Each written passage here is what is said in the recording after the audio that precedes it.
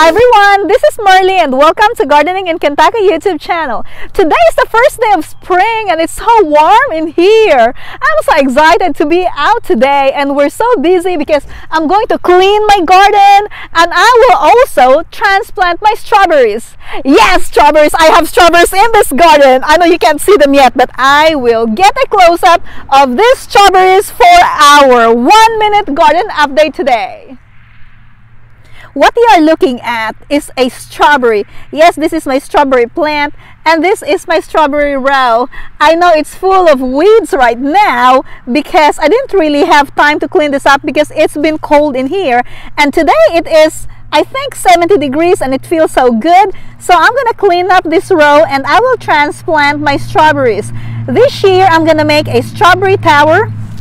I have some more in here and yes, all of these strawberry seedlings will go into my strawberry tower that I will put in the middle of my garden. And I'm so excited for my strawberry tower this year. This is gonna be really fun. Okay, let's have a close up. Here's some more. I'll show you these plants and this. Isn't that amazing? Here. That is truly amazing. I hope you enjoyed this episode of our one minute garden update. I will let you go now because I still need to get busy cleaning up my garden. And after cleaning my garden, I need to go to the store to get some lumber to build my raised beds. Thank you for watching and happy gardening. Bye-bye!